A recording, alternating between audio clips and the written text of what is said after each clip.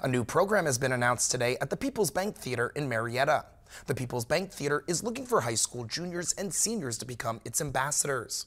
This is a new program and the kinks are still being worked out, but things you may do include promoting shows, help fundraise, and get involved with the community by handing out flyers.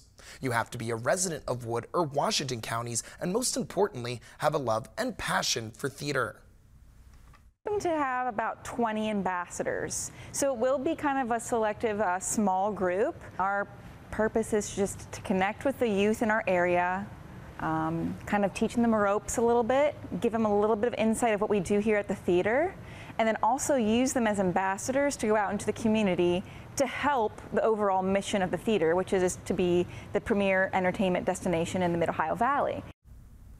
To find out how you can apply, you can visit our website at WTAP.com.